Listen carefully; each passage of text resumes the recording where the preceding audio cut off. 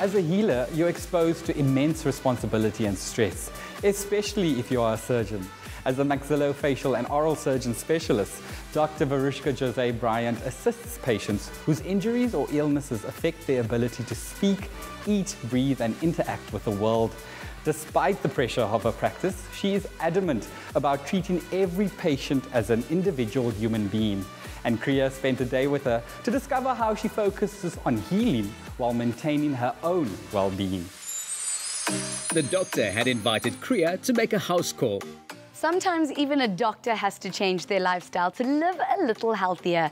Dr. Veruschka José-Bryant has done just that at the same time as being a leading maxillofacial surgeon not only in South Africa, but in the world.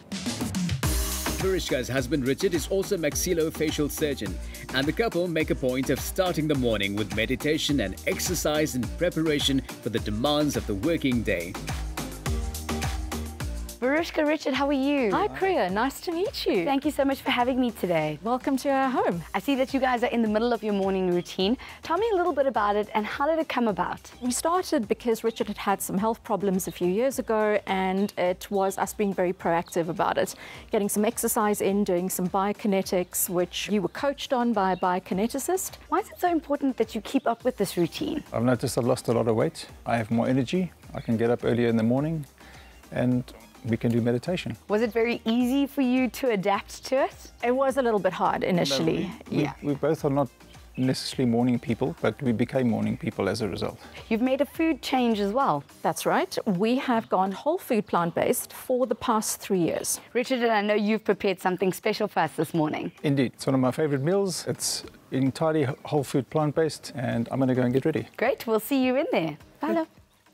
So Veruschka, with you both being doctors, was it very easy for you to make the change and did you go for any professional training? I think we're lucky in that we can understand the scientific literature that's been published and there is a wealth of evidence that supports these changes in lifestyle and there is this overwhelming move towards plant-based diets. There is an overwhelming move towards gaining core strength, doing functional exercises and meditation. I'm going to go change out of the sweaty rag and then I'll meet you and Richard downstairs.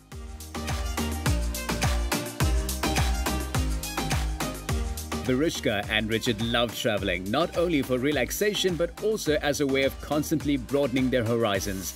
And this is reflected in their style of cooking. Richard, this is looking great so far. You did the lifestyle change due to a health issue. Tell me a little bit more about it. In March of this year, I had a heart attack. I initially ignored it as a bout of indigestion and it was only diagnosed about two days afterwards. I'm not a, a, classical heart attack patient. I'm slim, I'm trim, I exercise, but I think it's a lesson for males that are in their 40s and 50s. Take those signs seriously and go and see your doctor. So what are some of the symptoms that you need to look out for? Typically, radiating tight band around your abdomen, tightness in the chest, but that's not all. You can get heartburn, but the key indicator is pain down your left arm. Time is of the essence because these things kill younger and younger and younger, younger people. Well, I definitely want to get started on breakfast and I can hear Veruschka. So you're going to be doing the cooking for us today? I am. What we're going to be doing today is a very quick, very easy to make egg-free frittata. Instead of egg, we're going to use chickpea flour. And here we've got some curry powder. We've got some stock, black pepper, some turmeric, onion powder, granulated garlic powder, and some smoked paprika and some nutritional yeast. It makes everything taste like manna from heaven. So we're going to mix all the dry ingredients. We're going to put these ingredients in, a little bit of our curry powder in. We're going to mix all those ingredients together, get your water out. We're going to very slowly mix that up. When you've got a decent runny, but not too runny batter, then you're done we can turn on the heat. We're going to spray a little bit of oil into the pan. A very useful tip for those of you who want to cut down on the amount of oil you're putting into your food is to put your oil into a spray bottle and you get to use very little oil. You're going to throw in a little bit of cumin and a little bit of mustard seeds. And we're going to let that toast a little. It's the perfect temperature when the mustard seeds start popping. Now we can add the batter. We're going to let it cook very slowly and as it cooks, I'm going to turn down that heat a little. I'm going to add some tomatoes.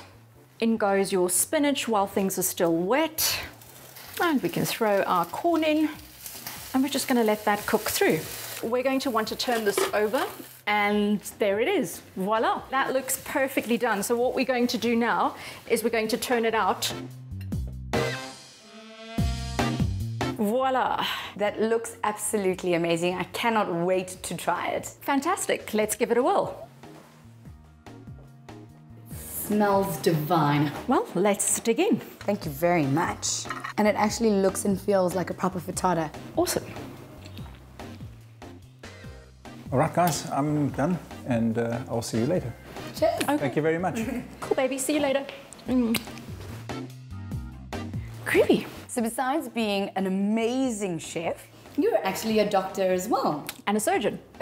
so I cut things up for a living. And you have your very own practice. I do, and we're going to head over there now. So if you'd like to join me, I'd love to. Let's go.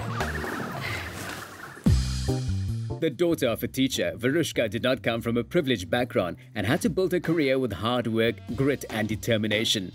After completing her medical studies at WITS, she underwent a further five years of full time postgraduate training at the Johannesburg Academic Hospital and Chris Hani Baragwanath.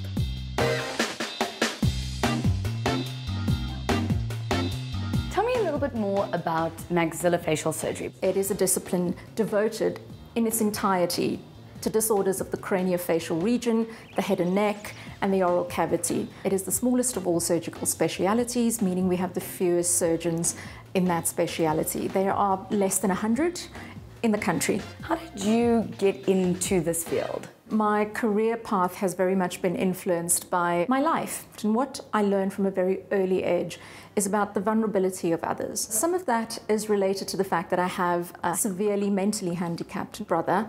I think I was drawn to a discipline that fixed problems. What would a typical day in your life be like? Some of the not so glamorous work is really a lot of paperwork. The rest of the stuff, which everyone loves to hear about, is we get to operate, and because we're working in the face, we deal with everything from trauma, tumors, developmental anomalies, all the way through to your very run of the mill basic oral surgery. Mm-hmm. We take out your wisdom teeth, we cut them out of your jaw, and we do things like implant rehabilitation, so putting in implants into your jaw. For all the young South Africans that are thinking of getting into medicine, what advice would you have for them? I think you have to do it for the right reasons. You do this because you love it, knowing it's going to take up a lot of your life. And if you're not prepared to make those life sacrifices, it's not a fast path to riches. Well, I definitely don't want to keep you. Thank you for spending time with me today. I have an emergency to rush off to, unfortunately, so I'm going to say bye bye.